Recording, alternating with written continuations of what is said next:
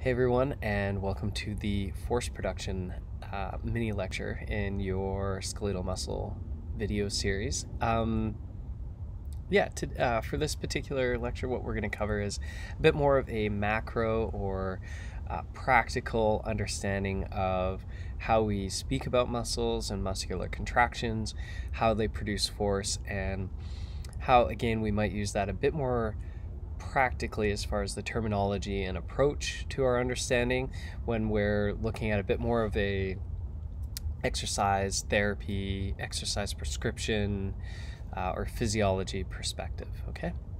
So first up, we're going to review some terms. We brought this up a little bit in order to discuss uh, muscular contraction uh, when we are first going through it in our sliding filament theory uh, lecture, but here's uh, a better look and a better investigation of that. So we'll see when our muscles are at resting, we just call that muscles at resting. Uh, when our muscles are contracting, so they're uh, producing a force, right? We have actin myosin cross bridges uh, trying to cause a contraction or shortening of the muscle but it's equal to the same amount of force that is being resisted to it. So, for example, if um, you go to try to lift uh, a car, right? If uh, maybe it's a strong person competition or something, and you go to lift a car and it doesn't budge anywhere. So you're applying a force, but the resistance that's meeting it uh, not allowing you any movement. Therefore, we would call that an isometric contraction. Okay. Now, let's say you successfully uh, manage to lift the vehicle up off the ground, so you're in a bit of a squat position. You stand up, lift the car. What we'll end up seeing is something called a concentric contraction, okay? And that's when the force of the muscles, the contractions, um, again, that actin myosin cross bridging and ratcheting action is greater than the resistance. So you overcome the weight of the car that would be called concentric. And then eccentric is when you go to set down the vehicle again. Uh, the muscles will get long. There's still some force being applied, but the force of the resistance, so the car, is much heavier than what the muscles are doing at that time, so you slowly lower the vehicle. Okay, so again, isometric, concentric, and eccentric contractions. Now, there's um, other types of terms that we'll use to describe the resistance or resistance exercises that we do. Um, and again, it's uh, important to uh, recognize these, but um, you know, you don't necessarily use these too often when you're in, say, a gym setting. Uh, that being said, it's great to have knowledge about these. So the first uh, type of resistance or resistance exercise we'll cover is called isotonic.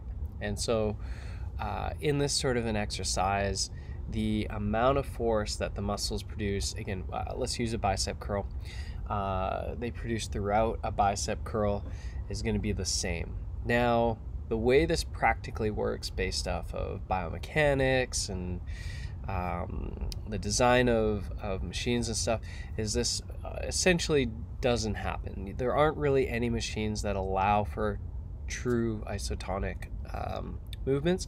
What we tend to see instead is dynamic, constant external resistance. So, what we're saying is the iso, so no change, uh, tonic force or tension uh, doesn't doesn't really happen. We can't uh, generate that same force, but what we can do is create the external resistance to make that constant, um, even though it changes the amount of resistance we feel. So, for example, at different points in a range of motion of a bicep curl, there's different points of force uh, due to how close to the body it is or how far away uh, will dictate how much force the muscle will experience. So the dynamic part comes from um, uh, how gravity or biomechanics in our lever system works in regards to the weight. The weight itself or the external resistance is constant. Okay, so free weights, weight machines, they typically are all like this. Okay, isoinertial. So what we see with isoinertial is the um, movement um, changes in its velocity, but the goal with that is to try to obtain constant resistance throughout the range of motion. Okay, a little wordy, a little confusing. Let's try to get a solid example for isoinertial. So there are these uh, trainers or uh, systems that you can put a bike onto. Okay, now this system is mechanical and the idea is it tries to get you to do the same work the whole time. So you put out the same amount of power the whole time. And the way it does this is depending on how quick you're pedaling, it will add or take away resistance. Let's uh, try to visualize this in your head now while you do this. So if you're pedaling really, really slow and it wants you to do a certain amount of work, it's going to increase the resistance so the amount of work you're doing is the same. But if we add in some some velocity, so we increase how quick you start pedaling, what will happen is the machine will decrease the resistance on the flywheel, and therefore the amount of force you have to put in is less because you're moving quicker. Okay. Again, the goal is to have some sort of constant workload or resistance throughout um, uh, your range of motion, uh, even though your velocity is changing. Variable resistance. So the goal of variable resistance is to change where you experience the resistance over the range of motion. Now we're going to come back to this when we look at a bit more uh, force uh, velocity curves and um, yeah, but we'll, we'll you can kind of already imagine that depending on where you are in a certain range of motion, the resistance changes. One of the best examples is bands. So stretchy bands. A lot of people have seen these at home for home workouts in particular. And the idea is the more range of motion or the more you stretch the band, the greater the resistance. Okay, so the resistance changes over your range of motion. ROM is range of motion. And then last but not least, isokinetic resistance uh, in which the velocity of the limb's movement throughout the range of motion, motion is held constant by a device. Again, isokinetic. There are a few uh, companies out there uh, that try to replicate this. However, based off of people's biomechanics, it, they're very tricky. You might see some of these machines in a rehabilitative clinic sometimes. And again, the idea is regardless of that range of motion, it's going to have that same constant um, resistance on it. Now, the, uh, the, there is use for these and you can use them, but um, typically they're only for single muscle groups. So for a leg extension machine or a hamstring curl, you don't typically see a lot of these for compound type lifts. Uh, definitely not free weights. Again, you need a machine of some sort to be able to calibrate constant resistance depending on the uh, angle of the movement or how fast you're moving. Okay. So again, these are types of resistance exercises that we can categorize them into. All right. So let's look at important terminology. Now, there's uh, in particular three charts or graphs that we're going to explore that relate force and velocity. I've said that a few times and, and we'll, we'll, give it a bit more uh, investigation here. So, so we'll look at um, force velocity and the relationship between the two and what that helps uh, illustrate for us our speed strength uh, charts or graphs and our strength curves okay? And each of these are going to give us a little insight.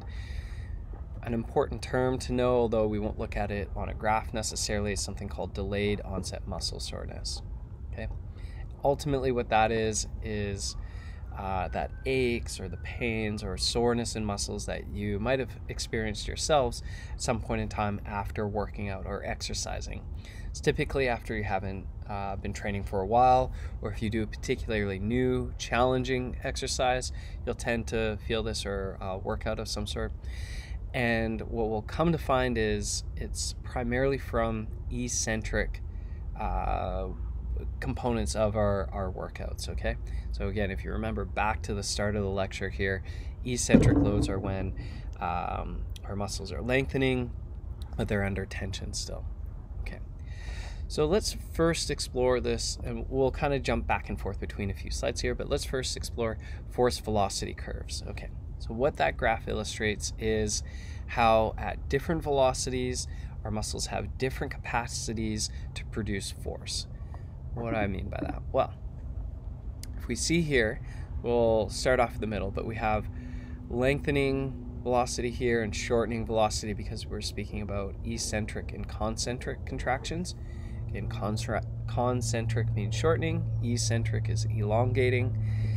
Um, here we see our force curve, and right in the middle is our isometric, okay? So when we have an isometric contraction, there's no movement. If there's no movement, there's no, uh, um, uh, we wouldn't have any velocity, okay? So that's why we're right, right in the middle there. As we move higher up from the isometric line, we have increasing force, and from that isometric uh, center, anything below that is decreasing force. And what this graph essentially demonstrates to us is that as we get more velocity heading in a lengthening direction, we actually increase in the force velocity capacity of our muscles. Okay. As the muscles get shorter, we decrease in the capacity to produce force concentrically. Okay. And again, that's with speed. This kind of makes sense if you think about it for a moment uh, as far as how fast you can do a bicep curl, for example.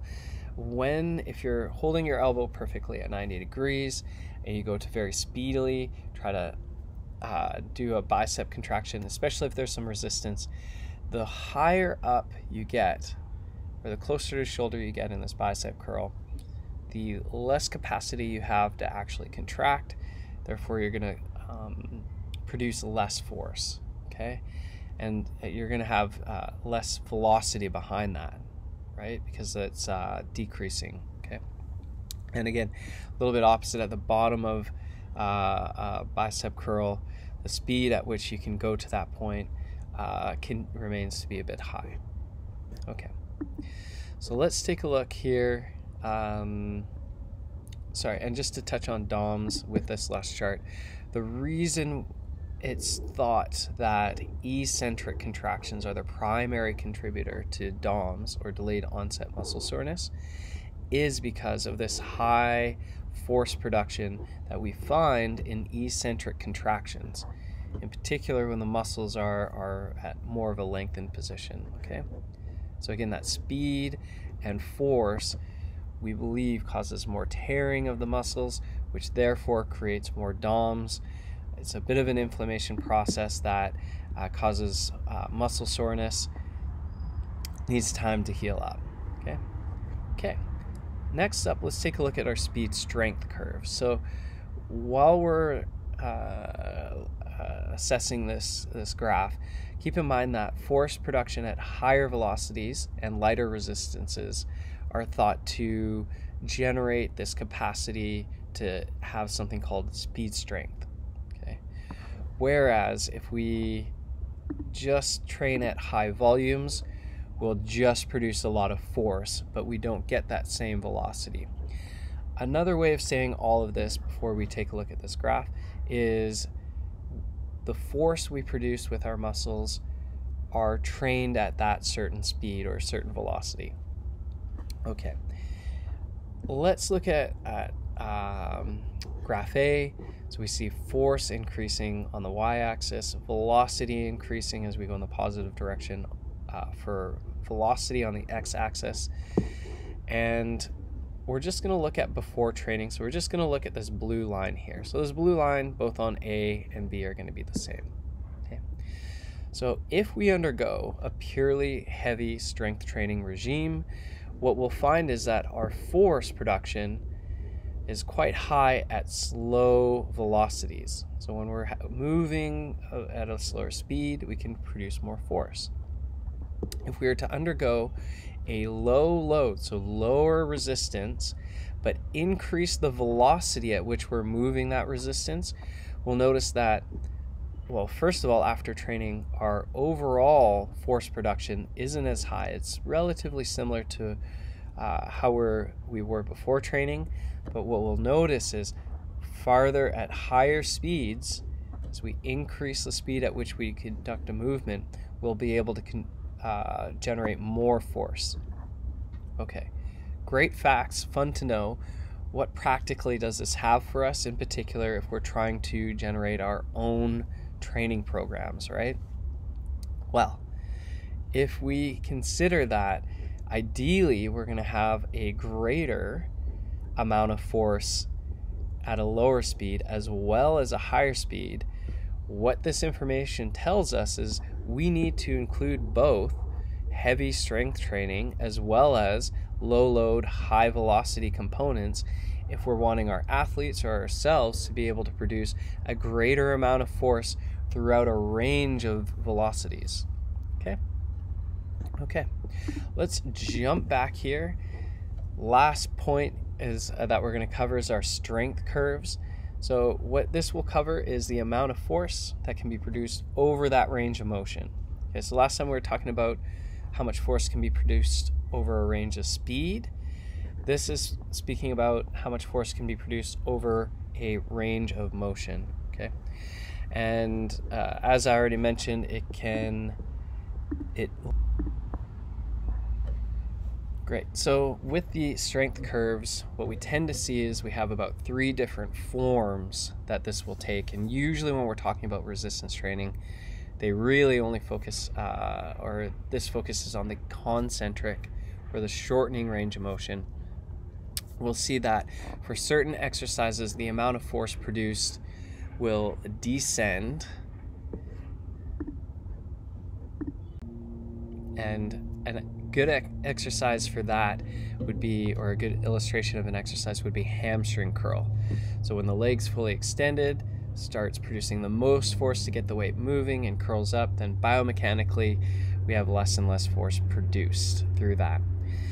The bell shaped, uh, a good example of that would be a bicep curl. So again, a little bit weaker to start with, lots of force produced in the middle, and then less at the end.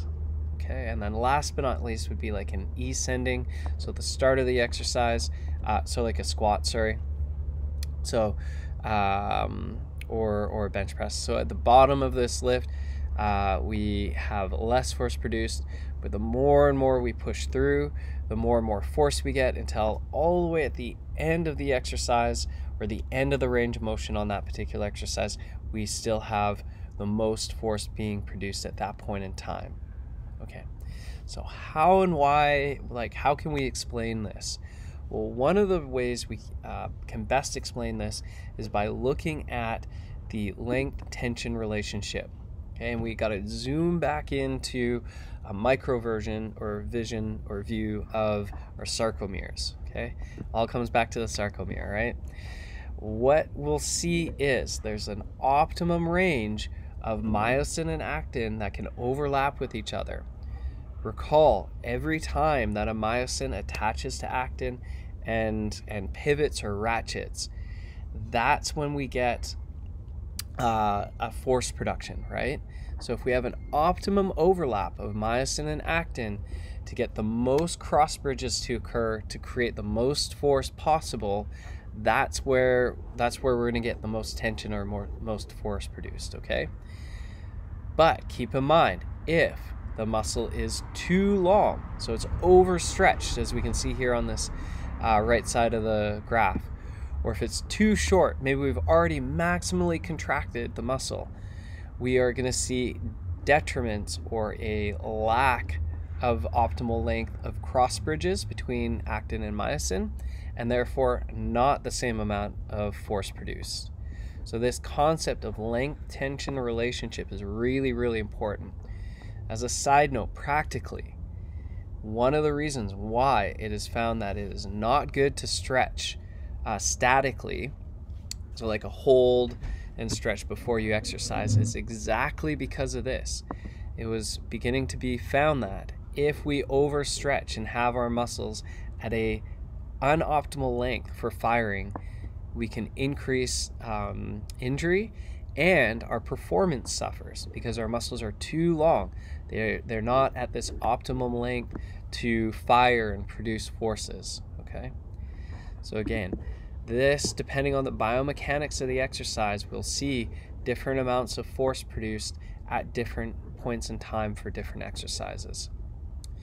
Now, if we get to the end of a repetition for a particular exercise, such as a bicep curl or um, a hamstring curl, we'll note that at least somewhere within that range of motion, we're hitting our uh, maximum amount of force production. But if we look at this concentric range of motion for something like a squat or a bench press, and at the very top, at the end, we're still producing our maximum amount of force. Um, how do we challenge that? How do we ensure that even when we're producing the most amount of force, how are we getting some strength built there? Well, this is where you'll see some instances of things like chains or resistance bands being used. So at the top end of an exercise, that's when you're going to have more resistance added onto it, either through tension of a band or through the addition of carrying more chains. So you'll notice here at the bottom of this squat, the chains are resting on the ground, so there's less weight or less resistance. As the individual stands up, there's more.